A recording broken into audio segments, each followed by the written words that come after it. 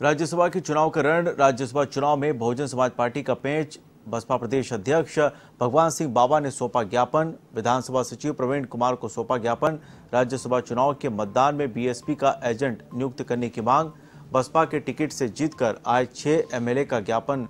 में किया गया ज़िक्र, कहा कि राजनीतिक दल होने के नाते मतदान में होना चाहिए हमारा एजेंट एजेंट को ही दिखाकर विधायकों को करना होगा मतदान। विधानसभा सचिव ने चुनाव अधिकारी आयोग को भेजने का आश्वासन दिया है।